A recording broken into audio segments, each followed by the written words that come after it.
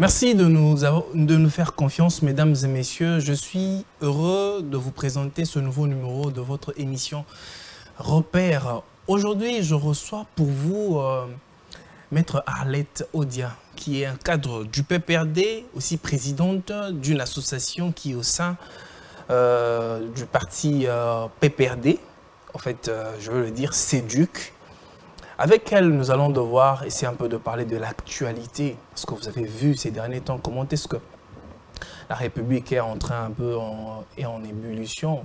Et il y a le président Kabila qui a fait sa qui a fait, qui fait comme un comeback. Il a promis de pouvoir parler très bien d'ici là. Alors nous allons devoir aussi parler des élections en République démocratique du Congo qui va devoir se tenir ce 20 euh, décembre 2023. Maître Alat, comment allez-vous? Je vais bien et merci de votre invitation.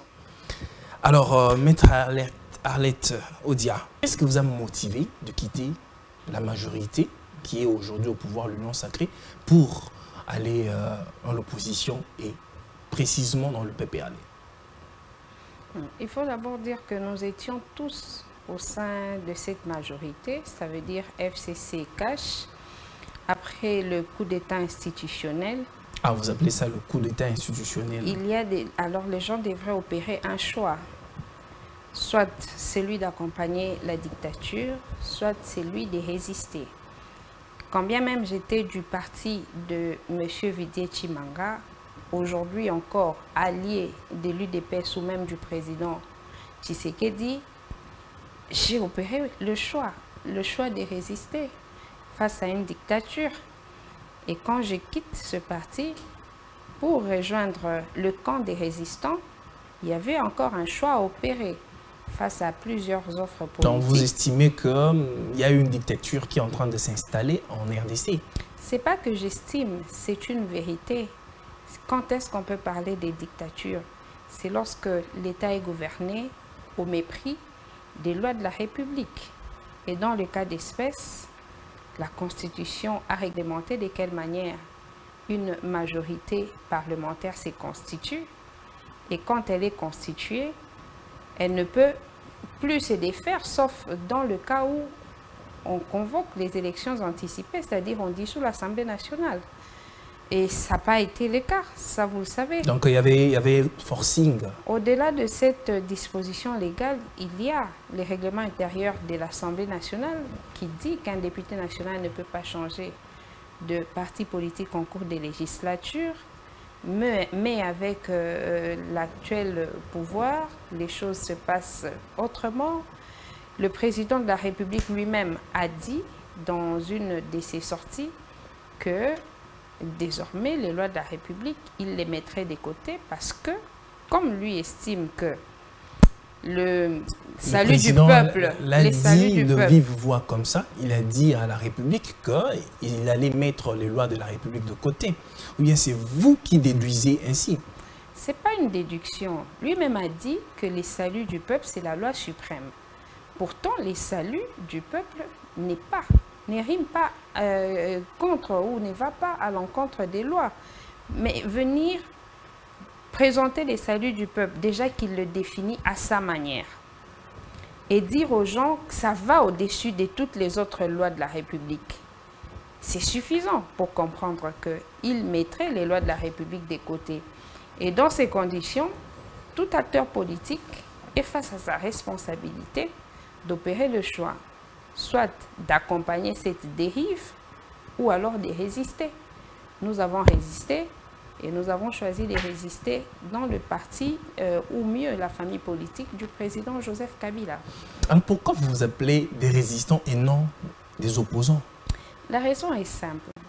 C'est que on est majorité ou opposition dans un État démocratique selon qu'on a gagné des élections ou qu'on les a perdues. Dans les cas d'espèce, le FCC qui est devenu ma famille politique, celle du président Joseph Kabila et de tous les autres camarades, n'avait jamais perdu aux élections législatives. Pourtant, la majorité, ou alors M. Félix Tshisekedi, considère cette famille politique comme étant de l'opposition. On ne devient pas membre de l'opposition parce que ceux qui gouvernent vous donnent cette casquette. Il faudrait que les urnes parlent et que les résultats de ces urnes vous amènent dans l'opposition. C'est face à cette injustice que nous, conformément à une autre disposition de la Constitution, c'est-à-dire l'article 64, nous nous considérons à juste titre comme étant des résistants. Très bien. Alors, euh, il y a une question qui se pose, ça fait un bout de temps où les gens se posaient des questions et que des, acteurs majeurs, en fait, euh, les cadres de votre parti le disaient assez souvent par rapport au probable retour de Joseph Kabila. Pourquoi Kabila devrait rentrer aux affaires? Vous parlez de Kabila individu ou bien Kabila comme euh, pensée ou bien Kabila comme mouvement ou bien comme famille politique Il faut d'abord dire que les gens sont libres d'opiner en démocratie. Les membres de la famille politique du président Kabila et même beaucoup les, les citoyens congolais sont libres de penser que puisque Kabila avait mieux géré la République que ceux qui la gèrent en ce moment, il doit revenir. Mais le président Kabila lui-même ne vous l'a pas encore dit. Et vos apaisements, il a dit qu'il va s'exprimer dans quelques jours. Certainement qu'il accordera une interview à la presse. Vous aurez l'occasion de lui poser toutes ces questions. Mais je peux comprendre ceux qui veulent son retour. C'est parce que quand Kabila est arrivé au pouvoir, il n'a presque pas trouvé l'État. Quand on dit ne pas trouver l'État, c'est notamment ne pas trouver de Kabila Joseph ou bien Kabila Père? Nous parlons de Kabila Joseph, nous parlons donc de 2001. Il arrive au pouvoir, il ne trouve pas des constitutions applicables ou des constitutions en vigueur. Il, il ne trouve pas une classe politique organisée. Il ne trouve pas une administration convenablement structurée. Ces trois éléments suffisent pour dire que l'État était pratiquement en veilleuse. Il, quitte le pouvoir en 2018, vous le savez. Il laisse l'État debout. Les lois de la République qui sont là, les, réformes dans, presque tous les secteurs de la vie nationale, il y avait euh, la, la, réserve d'échange, elle était consistante les codes miniers révisés en faveur des intérêts du pays. Donc, il y a de raisons pour des citoyens, on va dire honnêtes, mais surtout patriotiques, de vouloir le retour du président Joseph Kabila aux affaires. Hmm. Les téléspectateurs qui nous suivent en ce moment, et nous aimerons beaucoup plus comprendre Maître Arlette, c'est Kabila, la personne en réalité du président Kabila ou bien c'est un courant de pensée? Parce que si c'est la personne de Kabila, vous êtes juriste, y a-t-il des dispositions constitutionnelles qui permettent à ce que le président Kabila revienne après ses deux mandats aux affaires? Déjà, je ne viens pas ici vous répondre comme étant juriste, parce que vous savez bien que les juristes, ils n'étarissent pas d'imagination. Ceux qui ne veulent pas carrément de la tête des Kabila, ils vous diront que la Constitution l'interdit.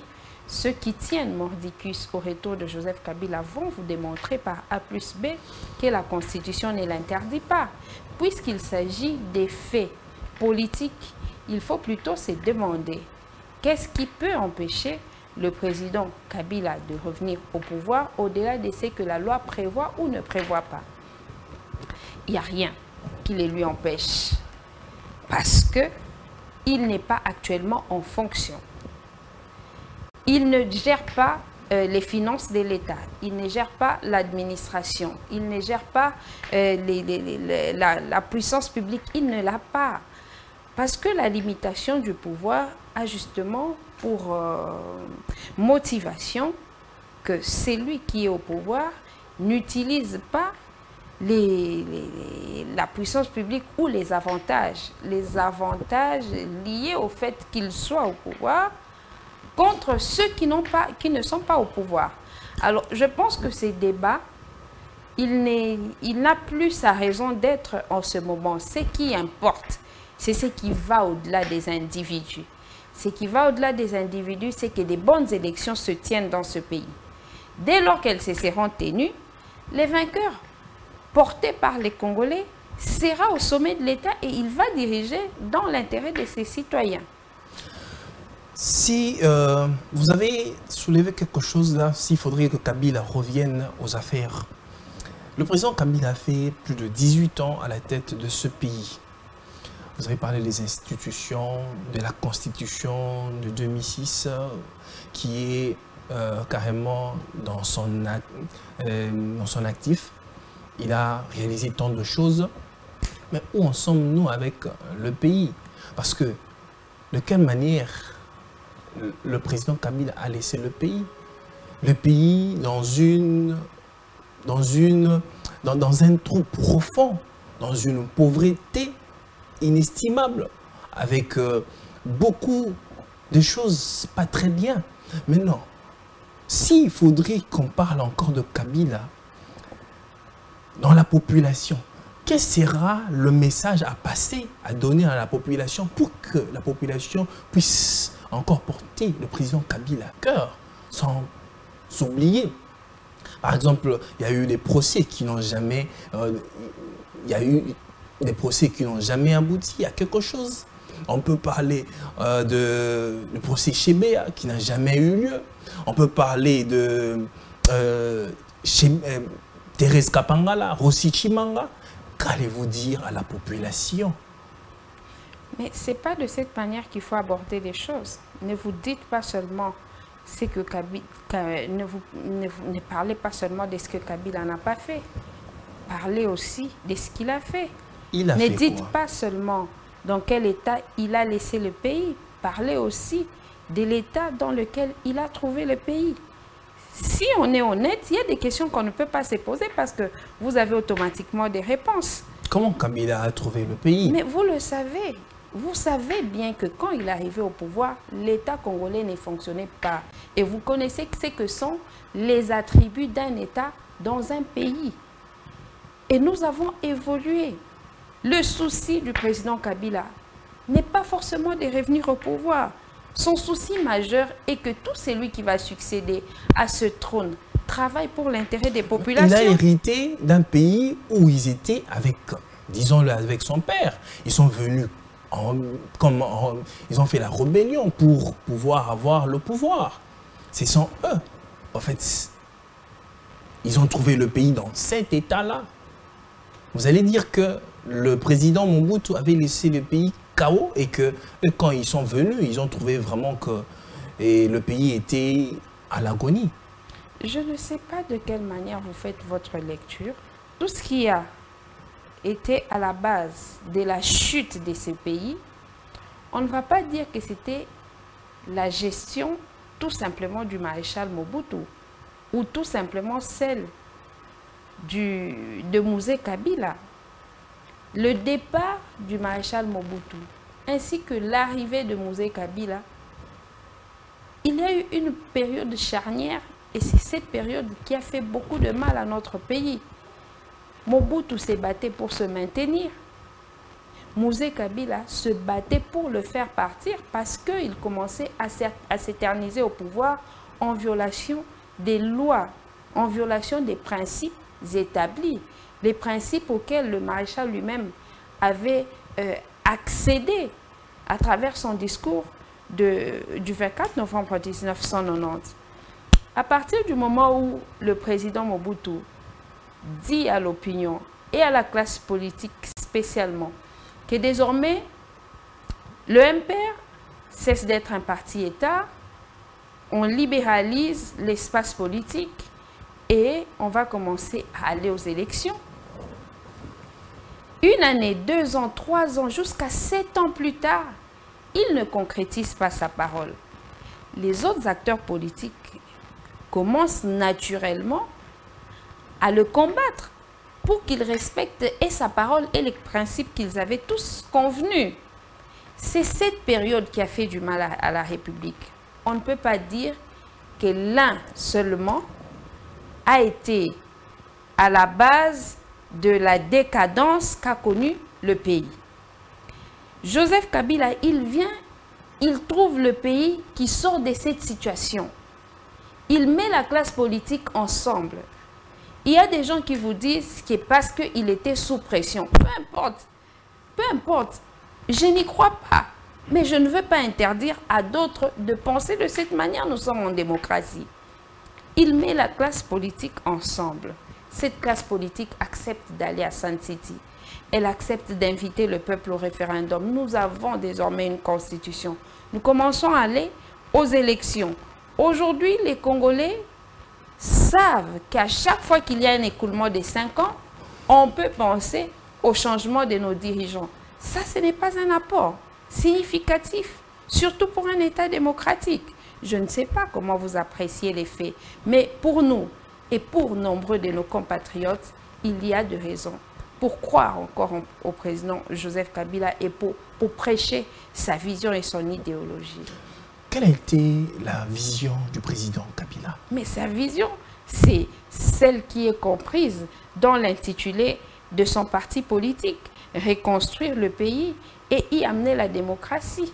Il a reconstruit le pays parce que quand il arrivait, le pays était divisé par des rébellions. C'est même ce qui a constitué la représentation du duem 1, 1 plus 4, selon que les leaders contrôlaient les partis de la République.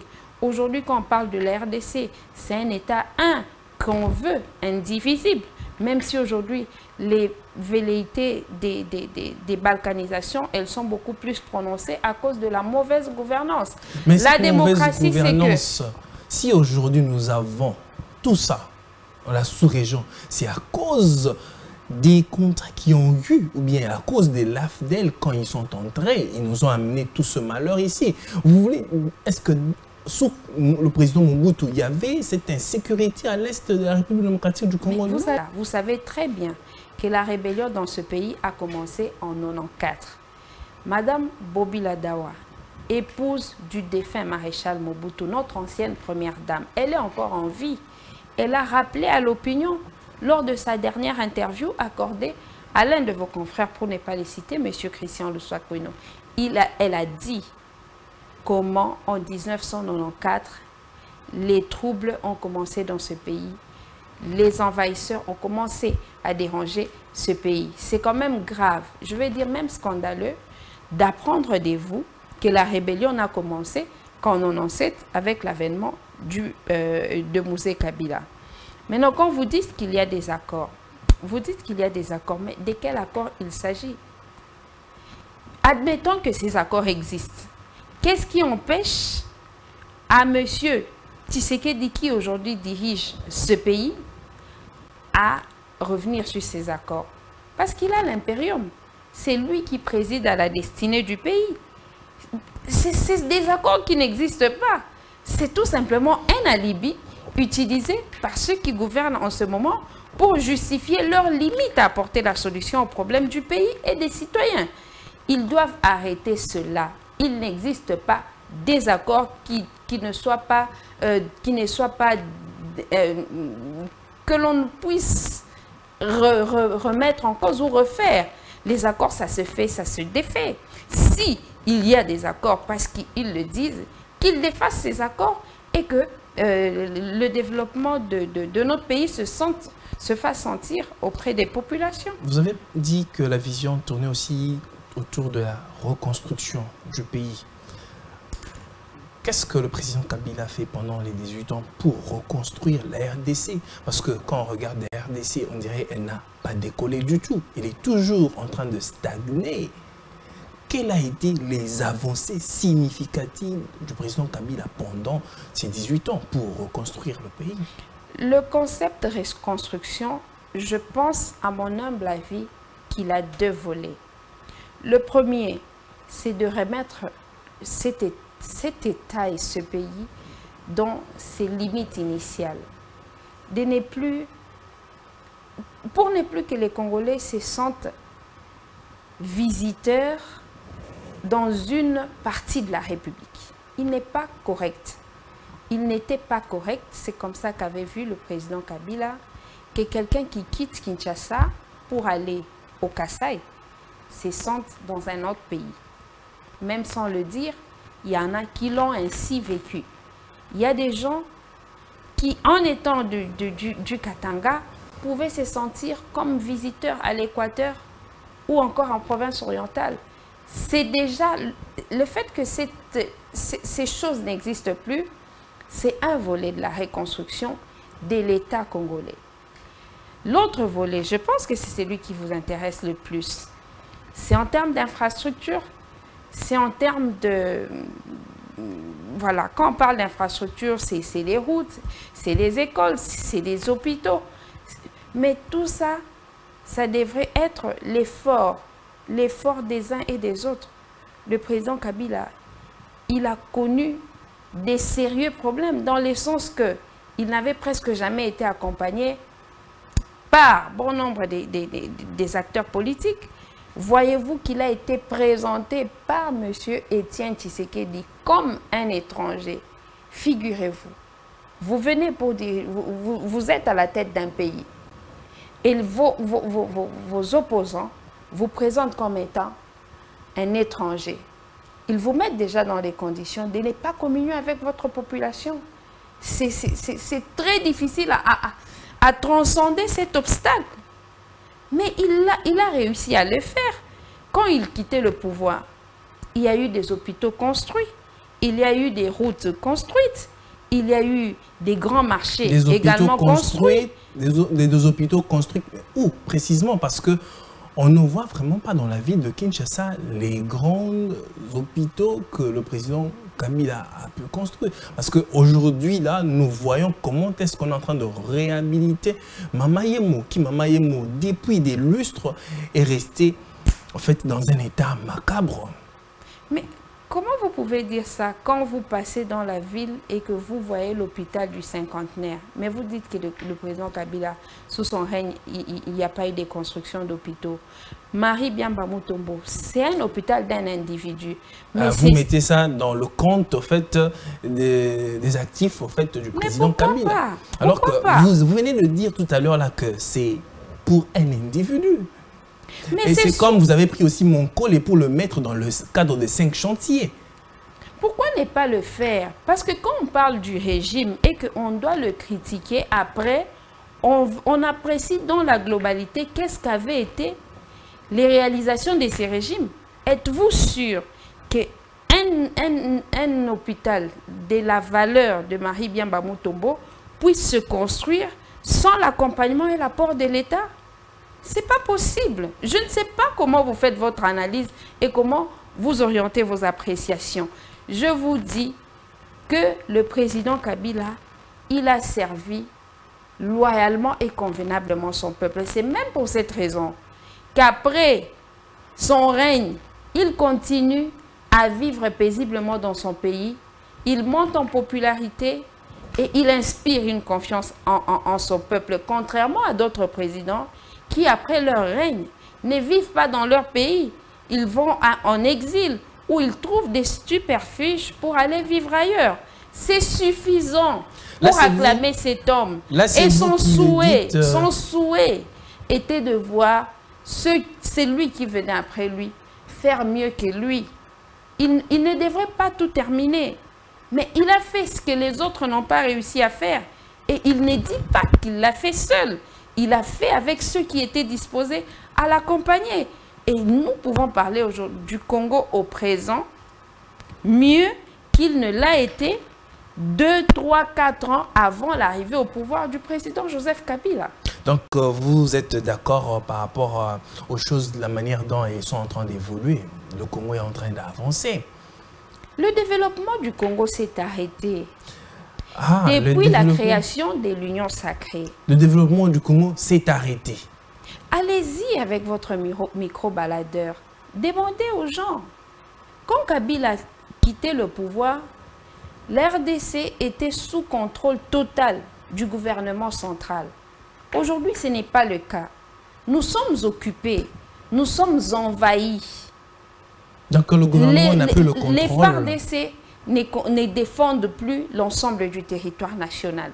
il y a une superposition des forces s'agissant de, la défense justement du territoire national. La PNC connaît les mêmes difficultés. Il y a quelques, jours, quelques mois, quelques semaines, le président euh, de la République a nommé au sein de la police nationale. Mais jusqu'en ce moment, ces ordonnances, elles sont suspendues. Elles ne sont pas exécutées. Figurez-vous dans quelles conditions les citoyens vivent avec des autorités qui ne sont pas à leur place.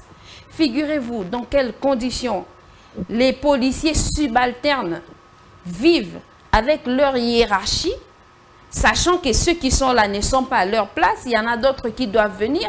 C'est des problèmes. Ça, ça freine le développement du pays. Je suis étonnée de vous voir insensible et de penser que c'est de cette manière que l'État devait continuer à fonctionner. Quand vous parlez de l'armée, en fait, le président Félix Tshisekedi a, a hérité de cette armée-là. Aujourd'hui, on parle des infiltrations dans l'armée. Si aujourd'hui on est arrivé à extirper certains éléments euh, de, de l'armée, ce sont les éléments que le président a trouvés là. On a trouvé beaucoup d'étrangers dans l'armée. Est-ce l'armée que le président Félix a créée ou bien il a hérité de son prédécesseur? Je ne sais pas pour quelle raison vous régnez l'histoire à ce point. Il y a des généraux qui sont dans cette armée qui ont intégré l'armée avant l'avènement au pouvoir de, de, Joseph Kabila, qui sont pour la plupart des loin plus âgés que le président Joseph Kabila. Mais vous voulez donner l'impression à ceux qui nous suivent que c'est Kabila qui les aurait créés, qui les aurait fabriqués. Lui, en tant que le commandant suprême... Est-ce que quand Kabila prenait le pouvoir, il était chef d'une armée quelconque? Non. Il n'a jamais été un chef rebelle. Il n'a jamais été à la tête d'une rébellion. Il n'a jamais... C'est le commandant suprême. Vous parlez du commandant suprême, mais à quel moment? Parce que toute l'armée que nous avons aujourd'hui, la plupart de ces éléments, ils sont intégré avant même que le président Kabila ne prête son serment de 2006. C'est avec, la, avec la contribution de nombreux rebelles, ceux qui aujourd'hui sont au sein de l'Union sacrée. Mais ça ne vous dit rien. Vous ne trouvez de, de faute que dans le chef du président Kabila. Et lui le comprend. Il comprend que on ne trouve des fautes que dans le chef de celui qui est fort. Parce que justement, celui qui est fort a la responsabilité d'apporter la solution aux problèmes des plus faibles. C'est ce, que vous, ce, que, ce qui nous fait euh, remarquer que même en dépit du fait qu'il ne soit pas au pouvoir, c'est toujours lui les fautifs, donc c'est toujours lui l'homme fort. Donc euh, vous voulez dire que les mauvaises personnes là se trouvent aujourd'hui dans l'union sacrée ceux qui étaient de l'autre côté là-bas, qui détruisaient le pays, se retrouvent aujourd'hui dans l'union sacrée. Mais plus de 50% de ceux qui constituaient hier le 1 plus 4, de ceux qui constituaient hier des rebelles contre le pouvoir du maréchal Mobutu sont à l'union sacrée avec M. Félix Tshisekedi. Vous voulez dire le contraire? Vous voulez qu'on cite le nom? Non, on n'a pas le temps pour ça. C'est une histoire que tous les Congolais connaissent. Ah, là, c'est peut-être votre opinion. Maître Arlette, nous allons devoir évoluer. Euh, êtes-vous pour euh, les élections ou contre? Je ne peux qu'être pour les élections. Je défends la démocratie, je défends les lois de la République. Et il n'y a pas de meilleur moyen, de, de meilleur mécanisme pour un acteur politique d'accéder au pouvoir si ce n'est par la voie des élections. Ce n'est que, en passant par la voie des élections, qu'on est supposé respecter le peuple qu'on veut servir. Donc, je suis pour les élections. Nous sommes pour les élections et quand je parle de nous, c'est notre association les CEDUC, c'est notre parti politique le PPRD, c'est notre famille politique le FCC, mais c'est surtout notre autorité morale, le président Joseph Kabila. Votre autorité, le président Joseph Kabila, avez-vous déjà organisé un congrès jusque-là? Non. Alors que, je ne viens pas parler ici de congrès. Alors que nous sommes à quelques mois des élections, euh, euh, à quelques mois des élections qui doivent se tenir le 20 décembre. Alors... C'est le président Kabila qui est notre chef, qui apprécie de l'opportunité des options politiques qui s'élèvent dans le parti. Il le fera au moment opportun. Vous dites que vous êtes pour les élections, mais vous vous êtes fait enrôler parce que le, votre secrétaire général, euh, le euh, Chadari, Emmanuel Chadari, avait donné un mot d'ordre à ce que la famille politique du président Kabila ne se fasse pas enrôler. Mais si vous ne vous êtes pas fait enrôler, comment iriez-vous aux élections? Nous ne sommes pas seulement pour les élections, nous sommes surtout pour des bonnes élections. Et quand les bonnes élections ne sont pas garanties, il n'y a aucune obligation pour nous d'accompagner un processus frauduleux. Qu'est-ce que vous reprochez à la CENI? Vous connaissez parfaitement les conditions de notre famille politique pour la tenue des bonnes élections. Il faut une CENI euh, euh, consensuelle, ça veut dire une CENI représentative de parties prenantes au processus électoral. Il faut une Cour constitutionnelle récomposée, tenant compte des tendances politiques, parce que dans une république, il y en a deux et elles doivent être respectées. Il y a aussi la loi électorale qu'il faut révisiter parce qu'ayant été adoptée euh, sans les autres, quand on parle des élections, ce n'est pas une affaire d'une seule famille politique. C'est l'affaire de toutes les tendances. Et en démocratie, vous savez qu'il y en a deux. Mais en plus de ces deux tendances, s'agissant des élections, il y a aussi la société civile qui constitue l'une des parties prenantes au processus. Maintenant, quand les uns y vont sans les autres, ceux qui sont en dehors du processus sont en droit de rappeler à ceux qui vont que vous ne pouvez pas y aller sans nous. Est-ce qu'on vous a écarté de la course ou bien vous vous êtes écarté vous-même de la course? Parce que depuis que ce processus a commencé, le président euh, Kadima, Denis Kadima, avait appelé tout le monde sur la table et il y a eu les délégués, au niveau du PPRD, il y a eu aussi, euh, je crois, Didi Manara, qui est un, représentant en fait euh, de votre parti. Il y a aussi ceux de l'opposition est représenté dans la CENI. Mais comment vous dites que dans ce processus, c'est seulement une seule partie qui est en train de faire les choses et vous vous êtes écarté d'une certaine façon Vous me parlez de la CENI. Je vous dis que la CENI n'est pas interlocuteur des acteurs politiques ou même des formations politiques. Nous devons d'abord être en face eux, face à nous. C'est de ces échanges qu'est née la CENI. Vous ne pouvez pas nous demander d'être en face de la CENI. La CENI, elle est supposée avoir les délégués et de la majorité et de l'opposition que nous avons accepté de, faire.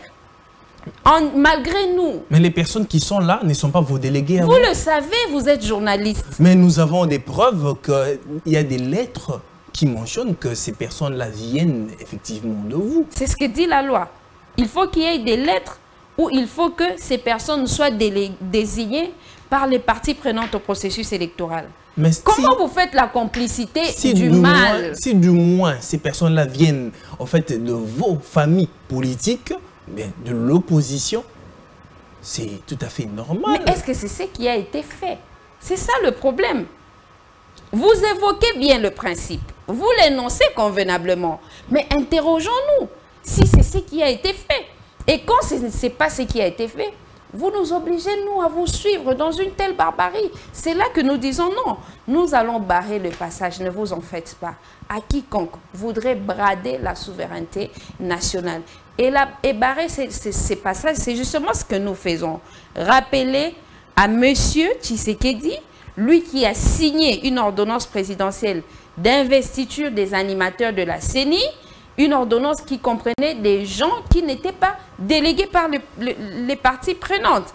Nous lui disons que vous avez emprunté une fausse route. Voilà la route qu'il faudrait tous emprunter. C'est la route du respect des principes. C'est la route pour la tenue des bonnes élections. Si vous allez barrer la route, donc vous êtes dans l'option qu'il n'y ait pas les élections.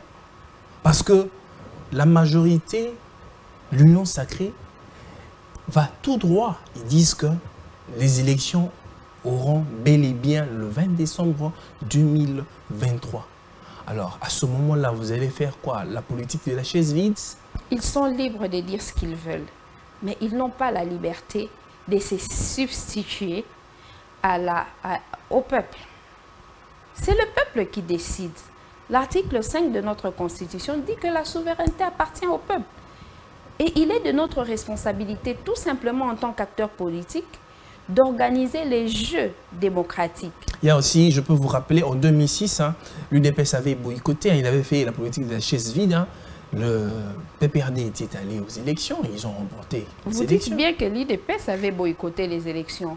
Le PPRD n'a jamais boycotté les élections.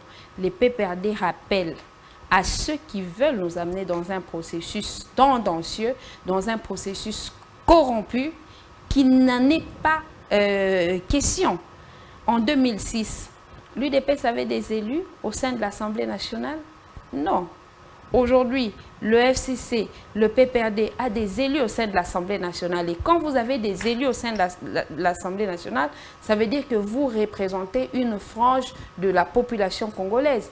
Et quand vous dites que l'UDPS ou l'Union sacrée est disposée à aller aux élections sans cette frange de la population qui, elle, est représentée à travers les élus du FCC, ça veut dire que vous défiez le peuple et vous voulez que ce pays soit euh, justement vers le chaos. Et ça, nous n'allons pas l'accepter. Il y a des gens qui ont donné de leur sang pour que vive, ou d'abord que naisse, vive et que même survive la démocratie dans ce pays. On ne laissera pas des individus venir fouler au sol tous les efforts et les sacrifices de ceux-là. Vos revendications sont basées, sont fondées sur quoi? Est-ce qu'il y a un type de dispositions qui vous arroge ce pouvoir ou bien euh, de vouloir refaire les choses? Mais la disposition, c'est celle qui dit que le mandat électif dans notre pays est de 5 ans. Il y a une responsabilité politique, mais surtout citoyenne, dans les chefs de ceux qui dirigent, dans les chefs de ceux qui ont reçu un mandat du peuple, d'éveiller, d'éveiller pour ne pas sortir dans les 5 ans. Et quand veiller à, ne pas sortir dans les 5 ans, c'est respecter les règles du jeu qui ont déjà été établies. Ceux qui violent, c'est ceux qui mettent la démocratie en danger. Le président Félix l'avait dit au Parlement que je respecterai la Constitution. Vous êtes alors l'avocat de, vous êtes l'avocat de M. Félix je, je ne fais que paraphraser, Je ne fais que paraphraser ce que le président Tshisekedi avait dit.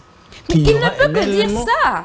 Vous avez le droit de faire une analyse pour vous rendre compte si ce que dit cet acteur politique est correct ou pas correct. Vous avez aussi la liberté d'analyser les propos que je tiens, d'analyser les propos que tient le président Joseph Kabila et tous les autres pour dire est-ce qu'il a été correct ou il n'a pas été correct. C'est comme si vous ne voulez pas fournir cet effort. Ils n'ont pas été corrects en laissant des gens qui ne sont pas délégués par notre famille politique occuper les places de notre famille politique. Vous savez, les responsabilités dans un État démocratique, elles sont confiées au, au groupe, au prorata de leur poids politique. La loi parle du poids numérique. En ce moment, le parti de l'opposition qui a le plus de poids numérique et politique au sein de l'Assemblée. C'est le PPRD. Parlons de la famille politique, c'est le FCC. Donc, c'est notre droit d'avoir délégué au sein de cette, de, cette CENI. Pourtant, M. Tshisekedi nous a privés de ce droit. Nous sommes, nous sommes dans l'obligation de l'exiger. Je, vais vous je vous rappeler quelque chose, certainement que vous l'avez oublié. Nous, nous avons les élections en 2006. Le deuxième candidat à la présidentielle, c'est Jean-Pierre Bemba. Avec le MLC, ça lui donne le droit, en fonction du poids numérique aux élections de 2006, de faire, nommer ou de faire désigner les animateurs au sein de la CENI. C'est ainsi que dans la CENI de 2011, le professeur Jacques Joly arrive là. C'est en fonction du, score du MLC aux élections de 2006. En 2016, disons en 2018, l'UDPS a des représentants au sein de cette CENI. Monsieur Kalamba. C'est en fonction du score de l'UDPS aux élections de 2011. Nous partons pour les élections de 2023. La place de l'opposition doit être euh, occupée par la force politique ou les forces politiques en fonction de leur score aux élections de 2018. Mais non, Tshisekedi avait été proclamé premier, Martin Fayoulou deuxième, Ramazan Ishadari troisième. Mais au nom de quoi ça ne doit pas être Ramazan Ishadari et Martin Fayoulou, disons leur famille politique et leur parti politique, qui désignent des gens au sein de la CENI? C'est cette injustice. On ne va pas parler d'injustice, on va parler de la dictature, on va parler de la barbarie contre laquelle nous nous opposons et nous exigeons que ces choses soient corrigées en vue de la tenue des bonnes élections en décembre de cette année. Estimez-vous qu'avec la période qui nous reste, euh, qu'on peut, si et seulement si, qu'on peut refaire les choses et qu'avec le temps qui nous reste, on saura aller aux élections? Ou bien vous êtes dans une euh, enquête, peut-être, euh, je vais appeler, d'une transition? Je suis scandalisée quand vous me donnez l'impression que tout ce qui vous fait peur, c'est le respect du délai constitutionnel, mais pas le soulèvement populaire lié au fait que les, élections aient été trichées. Ça, ça me scandalise. Ah, a un soulèvement populaire que vous qui plus. C'est logique et c'est prévu par la Constitution. Quand les gens s'imposent, au-delà du mandat électif, ça donne le droit au peuple de défendre sa souveraineté conformément à l'article 64. Là, maintenant, vous allez inciter le peuple. C'est pas question d'inciter le peuple. C'est comme le cardinal en moment Si aujourd'hui les élections ne se tiennent pas dans le délai, ça ne sera pas seulement le problème des, du, FCC. Ça ne sera pas seulement le problème de la Mouka. Mais en 2016... Ça, sera, ça deviendra le problème du peuple congolais qui a la latitude, à travers l'article 64, de défendre sa souveraineté. Mais c'est des choses qui apparemment ne vous font pas peur. C'est des choses qui ne, vous disent, qui ne vous disent absolument rien. Vous pensez qu'on doit amener le pays dans un schéma de ne pas respecter les principes et que le peuple congolais sera inactif et vous laissez, vous, vous, laissez avancer avec cette barbarie. On, peut vous rassurer que ça ne va pas passer. Mais en 2016, il y avait aussi, normalement on devrait avoir les élections en 2016, mais on les a les élections ont eu lieu qu'en 2018, deux ans après. C'est la classe politique qui avait décidé. Il fallait que les élections se tiennent en 2016, ça vous le savez. La classe politique, disons le président Etienne Tshisekedi, n'en voulait pas, parce que lui voulait plutôt que le président Kabila soit hors mandat, comme ça, euh, euh, grâce à l'article 64, que le peuple euh, manifeste contre Kabila et que lui, Etienne Tshisekedi, se retrouve il était déjà à terme de, de, ces deux mandats. Oui, c'est ça. Mais on s'est retrouvé dans le cas où le président Kabila a réussi à convaincre la classe politique que si nous n'avons pas pu organiser les élections dans le délai, c'est justement parce que vous, l'opposition, vous n'avez pas joué convenablement votre rôle. De l'opposition, ils s'en étaient rendus compte. C'est ainsi qu'ils avaient demandé le dialogue. Mais nous, aujourd'hui, on ne demande pas de dialogue. Nous, aujourd'hui, on demande, surtout en ce moment, que nous puissions ensemble fournir des efforts, de sorte que des bonnes élections se tiennent. Souvenez-vous, il y a quelques jours, le secrétaire permanent du PPRD, le professeur Emmanuel Ramazan Ishadai, il disait qu'en six mois, on peut arrondir tous les angles on peut, euh, on, peut euh, résoudre, mais sinon, taire toutes les divergences et revenir sur le, sur le droit chemin en vue de la tenue des bonnes élections. Mais vous les entendez faire sourde d'oreille et vous trouverez la faute chez nous plutôt que chez eux. Ça, c'est injuste de votre part. Très bien. Maître Arlette, euh, nous sommes quasiment à terme de notre émission. Mais pour ce faire, nous allons euh, devoir prendre notre rubrique du jour entre nous pour clore euh, cette émission.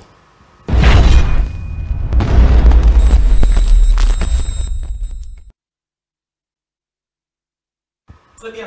Mesdames et messieurs, nous sommes pratiquement arrivés à terme de notre émission, mais pour boucler la boucle, nous allons prendre notre rubrique euh, comme je viens de le dire. Maître Arlette, vous êtes juriste. Nous avons, euh, il est de coutume euh, dans cette émission, de vous demander de, de jurer, de dire la vérité, rien que la vérité, comme vous avez d'ailleurs l'habitude dans votre profession. Jurez-nous de dire la vérité et rien que la vérité. Je l'ai dit, depuis que je suis ici, je ne dis que la vérité. Très bien. Maître Arlette, entre nous, oui ou non, Fayoulou était le gagnant des élections? De 2018 Ça, c'est aujourd'hui, c'est le peuple qui peut, qui peut répondre. Mais vous savez, vous savez ce que pense l'opinion des élections de 2018 L'opinion pense qu'il n'y avait eu qu'un compromis à l'africaine. Moi, je n'ai pas été à la CENI, je n'ai pas tous les éléments pour vous dire qu'est-ce qu'il en était vraiment. Apparemment, c'est comme si vous dites une chose et puis son contraire. Vous venez de dire tout à l'heure là, par rapport aux élections, qu'il y avait un gagnant qui était le président de la République, qui était premier, et puis euh, M. Fayoulou qui était deuxième, et en troisième position, c'était Emmanuel Ramazani Chadari. Comment vous, vous dites encore, il y avait un compromis à l'africaine. Ça veut dire que le président de la République avait fait un compromis avec le président Kabila. Ça se Je pense que vous n'avez pas compris ma réponse. Je vous dis que, s'agissant des élections, il y a ce qu'on appelle une vérité judiciaire. Parce qu'après la publication des résultats, il y a la justice qui intervient pour sanctionner les résultats. Il y a un arrêt de la Cour constitutionnelle qui intervient. On peut considérer cela comme étant une vérité judiciaire. Mais il y a aussi une vérité populaire. Et dans, la plupart des cas, elle diffère. Et le souhait pour la tenue des bonnes élections, c'est que prochainement que la vérité judiciaire cadre avec la, vérité populaire. Vous êtes revenu sur justement la vérité judiciaire, c'est celle que c'est celle que j'ai dit au cours de l'émission, mais je vous ai dit que le peuple pense autrement. Mais, mais concernant, je n'ai pas été membre de la CENI et je ne peux pas vous dire plus que ça. Très bien. Prenons l'hypothèse que le président Kabila doit revenir aux affaires et que il doit poser, déposer sa candidature pour être candidat président de la République.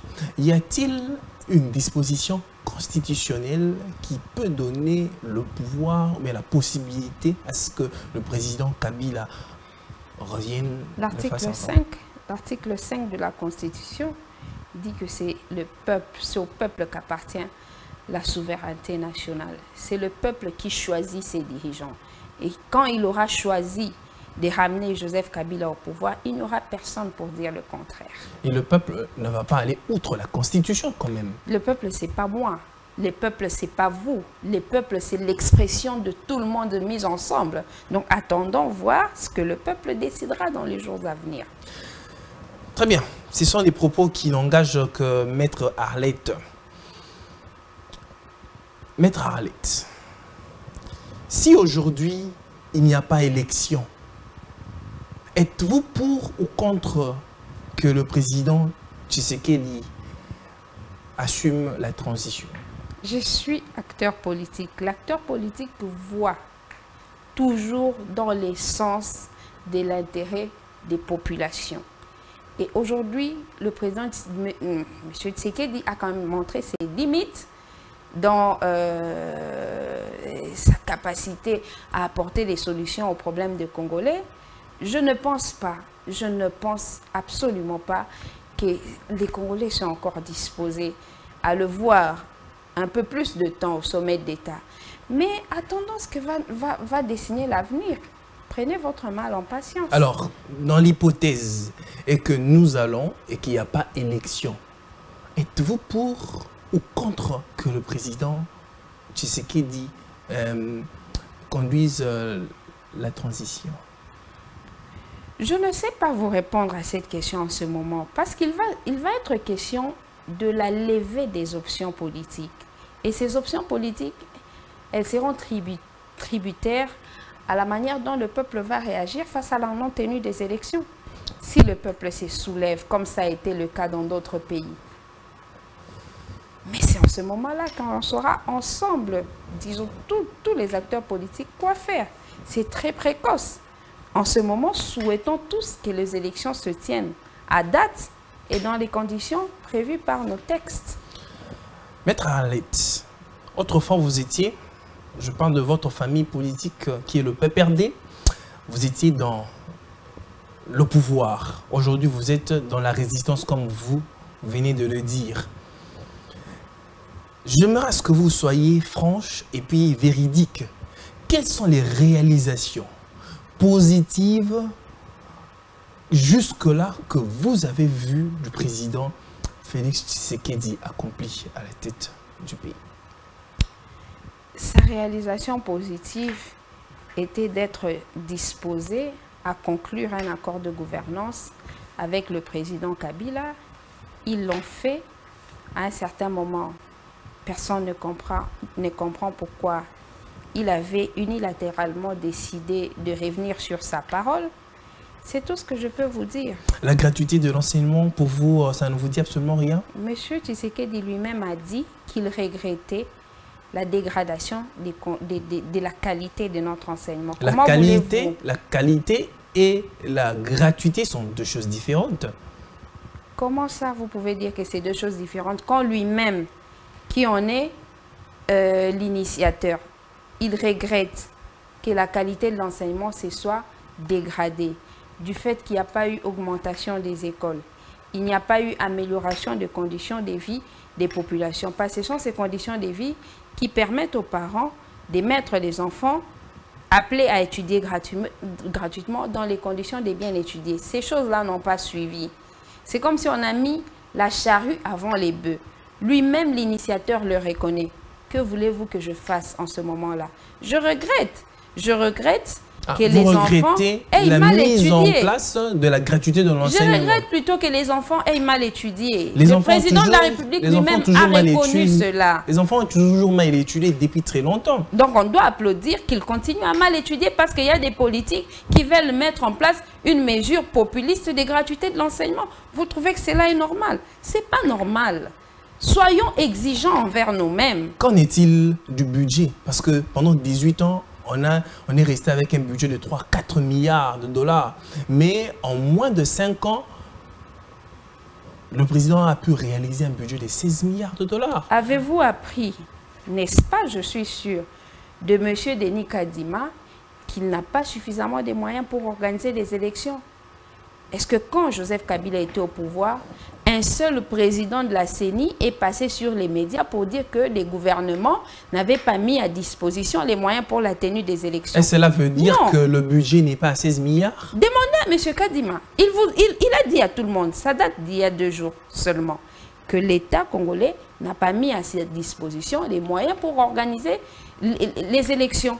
Demandez à M. Kadima si ce budget est-il réel ou n'est pas réel si les réserves d'échange ont-elles augmenté ou elles n'ont pas augmenté. Ça, c'est un indicateur fiable.